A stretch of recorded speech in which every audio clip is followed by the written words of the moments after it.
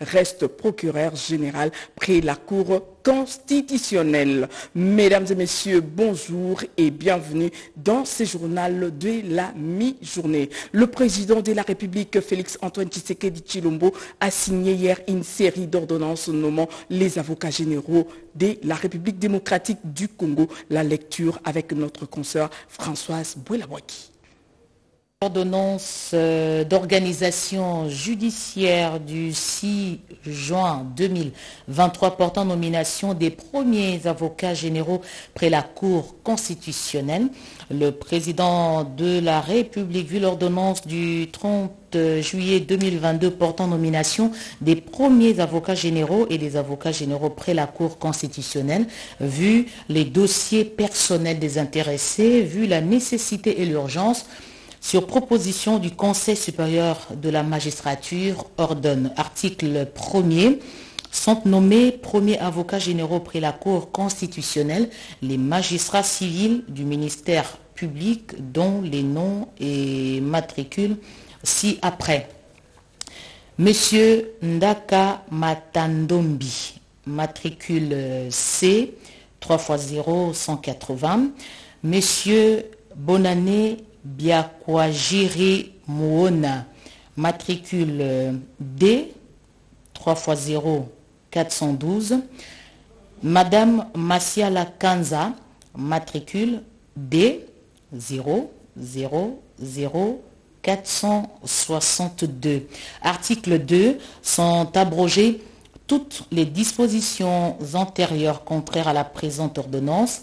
Article 3, le président du Conseil supérieur de la magistrature est chargé de l'exécution de la présente ordonnance qui sort ses effets à la date de sa signature faite à Kinshasa le 6 juin 2023. Félix-Antoine Tshisekedi Chilombo Jean-Michel Samalukonde Kienge, Premier ministre, pour copie certifiée conforme à l'original le 6 juin 2023, le cabinet du président de la République, Guilain Niembo, directeur de cabinet. Vers la pacification de la province d'Elitouri, les quatre groupes armés signataires d'actes d'engagement et paix ont déposé au gouvernement militaire leur protocole d'accord des cessations des hostilités dans la province. Suivez.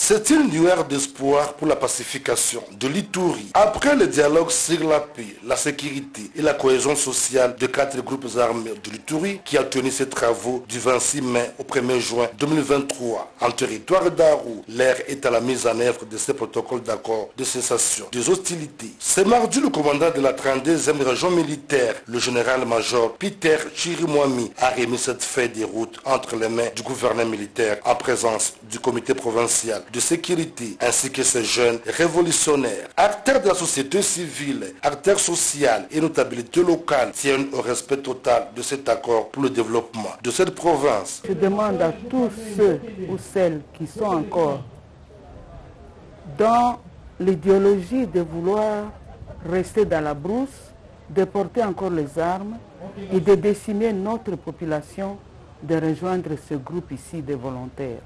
L'ère de la guerre est révolue. Nous ne croyons pas que par la guerre, on peut résoudre un problème en Ituri.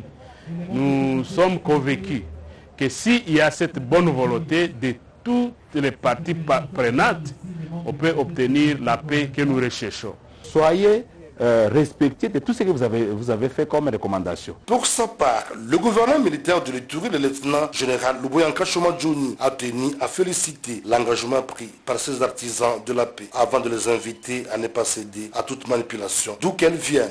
Chers jeunes, n'ayez pas peur. Je vous encourage à aller de l'avant.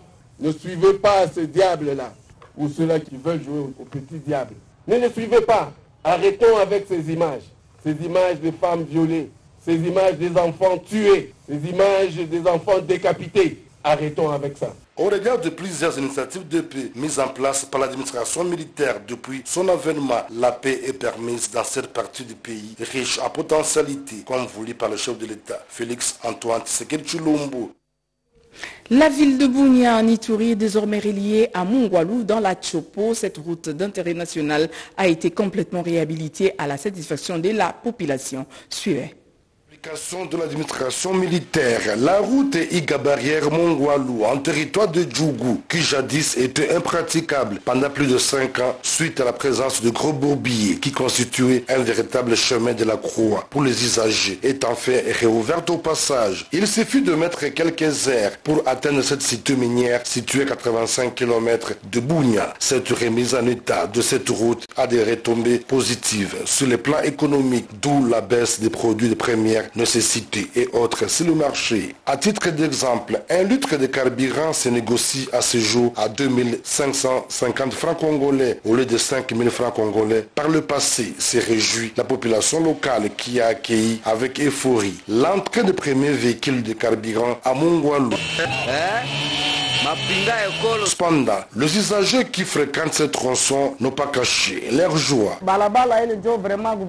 Nous remercions les autorités, mais demandons aussi que le gouvernement s'active de la même manière pour son entretien en cas de dégradation. Maintenant, le prix a réellement baissé, car avant, le prix d'un sac du riz se négociait à 100 000 francs congolais et l'eau Du coup, la vie était tellement chère. Occasion pour le gouverneur militaire de l'Itourie, le lieutenant général Luboyanka Johnny, d'encourager l'opérateur économique Daniel Mugissa pour son sens élevé de participer au développement de l'Itourie à cette période de l'état de siège. Regardez ce qui s'est passé à Mungwalu. Cet opérateur économique qui a pris ce risque, je parle de Daniel Mugissa ici, qui a envoyé son camion avec plein de pétrole, plein de carburant. Avez-vous vu la réaction de cette population-là? Voyez comment est-ce qu'ils ont sauté de joie. Voulez-vous arrêter cette joie-là? Notons que la commune rurale de Mungwalu est un poumon économique pour l'Ituri en ce qui concerne l'exploitation minière. La réouverture de cette route s'ajoute à celle de Bunya Djougou sur la RN 27, Bunya Kasseni, Bunya Komanda et Mambasa Makeke et bien d'autres. Ceci permettra aux forces armées engagées sur les lignes de front de mener à bien les opérations contre les groupes armés réfractaires au processus de paix afin de permettre à la population de circuler en toute quiétude. Mission de l'état de siège. À l'Assemblée nationale, la délégation de sénateurs et députés européens a été reçue hier par le président de l'Assemblée nationale, Christophe Mbosso. Au menu, le processus électoral après le vote de la loi sur la répartition des sièges. Ils sont au micro de Robert Ndaï Sensei. Je suis Vincent Ringenberg, je travaille à Bruxelles au sein de l'Union européenne euh, au service européen d'action extérieure, qui est comme le ministère des Affaires étrangères de l'Union européenne. Et je conduis ici euh, la mission exploratoire et électorale. Nous avons été invités par les autorités de euh, RDC à observer les élections de décembre prochain. Et avant de prendre une décision si oui ou non nous allons observer ces élections, nous déployons une équipe de techniciens, nous sommes une équipe technique avant tout, pour voir si les conditions sont réunies pour l'observation des élections en décembre prochain. Notre présence ici, la présence d'observateurs européens doit être d'abord utile, nous devons avoir une valeur euh, ajoutée, elle doit être souhaitable et euh, elle doit être viable. Donc c'est important que nous nous assurions des conditions politiques, euh, de sécurité et de logistique pour pouvoir déployer nos observateurs. Écoutez, nous venons d'arriver, nous sommes arrivés il y a trois jours, nous avons 15 jours de mission, donc euh, je ne peux pas vous répondre encore euh, aujourd'hui parce qu'il est trop tôt. Euh, nous avons tout un processus, des rencontres, des réunions, l'écriture d'un rapport avant de donner notre avis à notre hiérarchie pour qu'ils puissent prendre la décision si nous allons déployer une mission d'observation ou si au contraire nous n'allons pas le faire. Retrait de la MONUSCO en République démocratique du Congo, les gouvernements appellent à l'accélération du plan de transition. Le Premier ministre l'a dit au secrétaire général adjoint des Nations Unies. Les deux personnalités ont eu des échanges hier à l'hôtel du gouvernement. Les détails avec Patti Tondouangou. La sécurité dans l'Est de la République démocratique du Congo demeure une préoccupation majeure pour le Premier ministre et chef du gouvernement Jean-Michel Samaloukonde Kienge au cours d'une réunion avec le secrétaire général adjoint des Nations Unies en charge des opérations de maintien de la paix, Jean-Pierre Lacroix, qui s'est fait accompagner d'une délégation de la MONUSCO, il y a une convergence des objectifs entre les chefs du gouvernement et cette délégation onusienne sur la restauration de l'autorité de l'État dans l'armée, à la police, bref, à tous les niveaux. Un accent particulier a été mis sur la protection des civils et la nécessité d'accélérer la transition déjà engagée pour les retraits de la MONUSCO en République démocratique du Congo. Explication de Jean-Pierre Lacroix. Nous avons pu euh, constater euh, la convergence de nos objectifs en ce qui concerne le soutien au renforcement de l'autorité de l'État dans toutes ses composantes, les composantes sécurité, armée, police et les autres composantes. Également euh, l'accent mis sur la protection des civils, l'accent mis sur la nécessité de faire en sorte que la transition qui est déjà engagée de, la MONUSCO soit accélérée et en même temps qu'elle se fasse dans les meilleures conditions de manière à ce que euh, le renforcement graduel de la présence de l'État, là où il est nécessaire, se fasse et de manière à ce qu'il n'y ait pas euh, de rupture dans les fonctions de protection euh, des civils, notamment des personnes déplacées la question des opérations de préparation du précantonnement de M23 a également occupé une place de choix lors de cette rencontre. Euh, il a été fait référence euh, aux opérations de préparation du précantonnement et du cantonnement du M23, pour lequel euh, nous allons continuer à nous impliquer très activement. Il a été fait allusion au désarmement des groupes armés, au PDDRCS, et au soutien euh, renforcé qu'il convient d'apporter à ce programme fondamental, notamment dans les zones où euh, ce désarmement peut se faire rapidement. L'importance euh, de faire un plaidoyer auprès des donateurs pour que ce programme puisse être mis en œuvre. Plus généralement, la gravité de la situation humanitaire et l'importance du plaidoyer pour que l'effort de soutien aux actions humanitaires soit renforcé Quant à la crise humanitaire, la MONUSCO a pris l'engagement de renforcer le plaidoyer en faveur de la République démocratique du Congo auprès des agences humanitaires et des donateurs. Jean-Pierre Delacroix, secrétaire général adjoint des Nations Unies en charge des opérations de maintien de la paix, a tenu hier un point de presse après sa mission d'évaluation sur la situation sécuritaire en République démocratique du Congo. Mamita Bangoulou nous fait les résumés. Au terme de sa mission de plusieurs jours en RDC, le secrétaire adjoint des Nations Unies en charge des médecins de la paix a partagé quelques réflexions avec les acteurs politiques avant de rencontrer la presse nationale et internationale.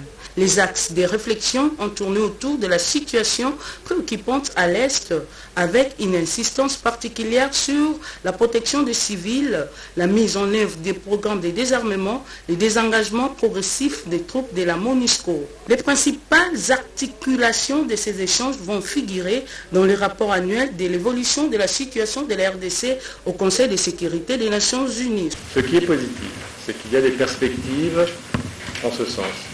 En Ituri notamment, il y a un plan pour le renforcement de la présence des FARDC qui sont aujourd'hui très peu nombreuses, aussi parce qu'une partie des ressources des FARDC a été dirigée vers euh, le Nord Kivu. Et donc, nous comptons pour que ce plan soit mis en œuvre de manière à ce que nous puissions effectuer cette transition graduelle, pas seulement bien entendu pour les forces militaires congolaises, mais aussi pour la police, et aussi euh, les euh, capacités civiles des autorités de l'État, notamment de justice.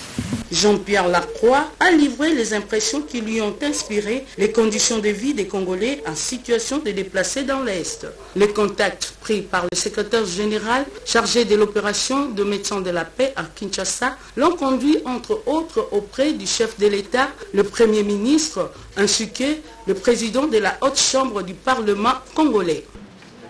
Une semaine, c'est le délai donné aux responsables qui cumulent plusieurs fonctions dans différentes institutions et entreprises publiques. Les coordonnateurs de toile d'araignée, Jérôme Sekana, l'a dénoncé au cours d'un point de presse tenu dans la capitale, nous dit Joël Kayeme. C'est un vent favorable aux réformes qui soufflent en RDC. Les efforts du gouvernement pour instaurer l'état des droits est visible. C'est dans ces contextes qu'Étoile d'araignée, qui regroupe le journaliste économique via son coordonnateur Jérôme Sekana, a saisi l'occasion pour dénoncer les cumuls des fonctions dans quelques institutions de la République. Nous allons saisir le procureur auprès de la Cour de cassation. Nous allons informer toutes les institutions du pays, en commençant par le président de la République, Monsieur X Monsieur Y, Madame Z, vole l'État congolais depuis très longtemps. Voilà qu'il est commissaire au compte dans cette entreprise et il est en même temps inspecteur des finances, il est en même temps, euh, il travaille au CPCC, il est en même temps à la Cour des comptes. C'est incompatible. Il est juge et parti. Comme il a volé l'État, nous le traduisons en justice. Ils n'ont jamais vu ça, ils le verront. Quand nous dénonçons comme ça, nous ne les dénonçons pas comme des subversifs. D'abord, nous avons commencé à approcher ces gens. Si quelques-uns ont commencé à déposer des lettres de suspension ou de démission, parce que nous les avons dit, ceux-là qui vont se conformer à la loi, nous allons les applaudir.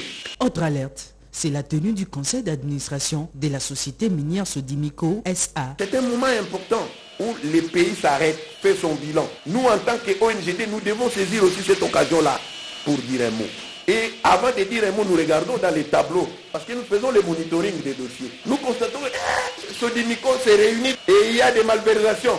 Nous ajoutons aussi, en plus du monitoring national du climat des affaires qui est présenté, qu'on entende aussi notre voix parce que nous, sommes dans l'environnement économico-financier, nous dénonçons aussi le problème de Sodimico. Créé depuis le 11 février 2014, Toile d'araignée compte plus de 250 journalistes spécialisés dans les enquêtes économiques dont la mission reste l'accompagnement des institutions de la République dans la lutte contre les antivaleurs. Les opérateurs économiques de la République démocratique du Congo à l'école du savoir, les avantages et les opportunités de l'exportation au centre d'une session d'information organisée par l'Agence nationale des promotions des exportations en République démocratique du Congo, nous dit José Baitombo. Une nouvelle matière, de nouvelles stratégies pour un objectif, celui de capitaliser la présence de la République démocratique du Congo à la zone de libre-échange continentale. Ces opérateurs économiques sont depuis ce mercredi à l'école du savoir sur comment exporter avec la ZLECAF, l'Agence nationale des promotions des exportations tient à outiller ses opérateurs sur les avantages et opportunités du commerce centra-africain. Une session de formation axée sur la compréhension des enjeux des exportations au sein de la ZLECAF, la définition d'une stratégie commerciale adaptée lancée par le directeur de cabinet du commerce extérieur, Jean Zoza. Je vous invite donc à suivre cet atelier de formation avec beaucoup d'attention pour profiter des opportunités qu'offre la ZLECAF aux opérateurs économiques congolais et à la RDC. Mike Tambouelou Bemba, directeur général de l'ANAPEX, a à son tour présenté les différentes opportunités que regorge la ZLECAF avant d'inciter et encourager les participants à s'imprégner de différentes matières afin de promouvoir les commerces intra-africains et acquérir les connaissances précises sur le commerce général et l'exportation en particulier. Des échanges ainsi que des moments d'apprentissage et des interactions bénéfiques afin de renforcer nos capacités techniques mutuelles, à tirer le meilleur parti de la ZLECAF et à jouer un rôle actif dans la transformation économique et le commerce de notre continent. Formation organisée en partenariat avec Afrique Bank et le CCU. Avant la clôture de cette première journée, les centres de commerce international s'est engagé à soutenir l'ANAPEX dans ses différentes méthodologies d'apprentissage. Les structures gérant les personnes vivant avec handicap en République démocratique du Congo ont adopté au cours d'un atelier les documents du cadre de concertation des organisations des PVH, nous dit Diane Balaka. La condition de l'enfant en République démocratique du Congo, en raison de sa vulnérabilité et sa dépendance par rapport à l'état de l'insécurité récurrente qui prévaut à l'Est, ne peut laisser indifférente la communauté internationale. C'est la raison d'être de cette conférence organisée à Oslo en Norvège sous le thème Protéger les enfants dans les conflits armés, notre avenir à tous. Conférence à laquelle a participé Modeste Moutinga Moutuchai, ministre des Affaires sociales, Actions humanitaires et Solidarité nationale. Après avoir peint un tableau préoccupant de la situation de l'enfant en RDC consécutif à la guerre d'agression nous imposée par le Rwanda et ses supplétifs terroristes du M23, le ministre Modeste Moutinga Moutuchai a sollicité l'implication de la communauté internationale et la condamnation du Rwanda. C'est ici le lieu pour une solution d'une paix durable de vous inviter aimablement à militer pour décourager le Rwanda et tous les prédateurs les pilleurs de ressources naturelles, cause principale des conflits armés en République démocratique du Congo, d'arrêter l'aventure. Par ailleurs, la République s'engage à œuvrer davantage pour l'amélioration sensible du budget de l'État alloué à l'action sociale pour le renforcement des services intégrés de protection, d'éducation et de soins de santé pour plus d'un million d'enfants directement affectés par les conflits armés. Le ministre Moutinga a échangé avec Madame Anniken Wiefeld, ministre norvégienne des Affaires étrangères, sur les accords de Luanda et de Nairobi comme initiative régionale des résolutions des conflits de l'Est. Est là de suivre l'ouverture de la conférence sur la protection des enfants dans les conflits armés et les ministres des Affaires sociales a représenté la République démocratique du Congo à Genève à ses assises de haut niveau. À la RTNC, le nouveau banc syndical a été investi officiellement hier. Les CONAFI prend la présidence et la vice-présidence au niveau de la ville de Kinshasa et la dynamique ouvrière du Congo DOC en sigle la présidence nationale. La cérémonie a été présidée par le directeur général adjoint de la RTNC en présence des inspecteurs généraux du travail. Le détail dans ce reportage de Joël Kayembe. Ils ont pris officiellement leurs fonctions, les membres de la délégation syndicale et leurs suppléants récemment élus au terme des élections organisées à Kinshasa et sur l'ensemble de la République. Ces délégués syndicaux de Konafi, qui ont pris deux sièges à la présidence pour la ville de Kinshasa et la dynamique ouvrière du Congo, DOC, au niveau national, ont été officiellement investis. Cette cérémonie rehaussée de la présence des agents et cadres de la RTNC a été organisée sous les auspices de l'inspection générale du travail. Ils sont devenus délégués à cause de leur statut. Les statuts parce qu'ils sont travailleurs.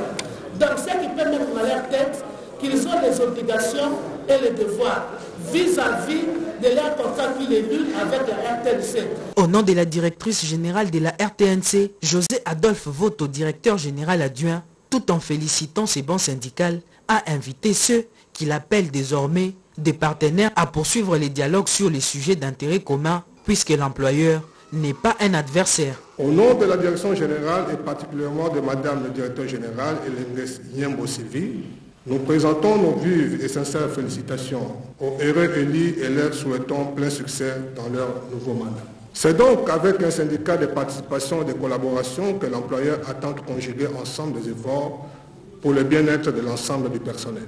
Nous en profitons également pour remercier la commission électorale ainsi que l'ensemble du personnel pour la discipline et la sérénité dont nous avons fait montre, dont vous avez fait montre tout au long du processus électoral jusqu'à ce jour. C'est dans une ambiance bon enfant qui s'est déroulée cette cérémonie immortalisée par une photo des familles. Restons toujours dans l'installation officielle de syndicat à la RTNC pour parler de la même cérémonie dans la province de Haute-Ouélé sous l'égide du ministre provincial du Travail. Suivez. Cette cérémonie riche en couleurs à laquelle ont pris part le ministre provincial en charge de l'emploi, l'inspecteur provincial du travail du Haut-Tuélé, tous les personnels de la RTNC Haut-Tuélé ainsi que plusieurs autres invités a connu plusieurs mots prononcés pour la circonstance dont celui de l'installation proprement dite de la délégation syndicale de la RTNC Haut-Tuélé par le représentant de l'employeur, le directeur Damas Soleke Solekaya. Devait à la fois être animé du souci de voir l'entreprise fonctionner normalement et garantir ainsi les conditions socio-professionnelles adéquates aux travailleurs pour une paix sociale nécessaire à tout progrès. Pour y parvenir, chers syndicalistes, il vous faut un grand esprit, un esprit d'ouverture, un esprit d'écoute, surtout un esprit de discernement, un esprit d'abnégation et un esprit d'altruisme. Vous devez être aussi considéré comme le modèle de tous, comme les catalyseurs de toutes les énergies, un véritable meneur qui se soucie de ce père. S'en est suivi le programme d'action du délégué syndical élu, Jérôme Bogenda Moutoro, qui ne jure que par la réussite du mandat lui confié par ses pairs. Il s'agit de défendre et de préserver les intérêts des salariés et de garantir la paix sociale au sein de l'entreprise. Précisons que cette cérémonie est la toute première dans l'histoire de la RTNC Haute-Tuélé. Des problèmes de terre à l'origine des affrontements interethniques dans la province de la Tchopo, une situation qui met au mal la population et les élus de ce coin du pays qui lancent un cri d'alarme aux autorités compétentes. Je viens féliciter une fois de plus auprès du patron de la sécurité nationale. J'ai cité les vice-premiers ministres de l'Intérieur, Sécurité et Affaires coutumières les tueries continuent dans la province de la Chopo. Le problème des courants subsiste jusqu'à ce jour qui s'engagent dans les noirs? La Chopo mérite mieux. Ça, c'est un cri d'alarme. Nous avons besoin que les autorités puissent jeter un regard favorable à la Chopo pour que les problèmes qui se à la Chopo trouvent une solution tant soit paix. Parce que cette population mérite la paix et la quiétude. C'est la fin de ce journal réalisé par Mustafa Obio et Papingi Namaou. Richard Kwale a concouru à sa rédaction. Tarzino Kabamba a assuré la partie technique. Prenez rendez-vous à 19h avec Annie Balaka pour une autre édition d'informations sur la RTNC. Quant à moi, je vous dis au revoir et excellente suite des programmes sur la radio-télévision nationale congolaise. Merci.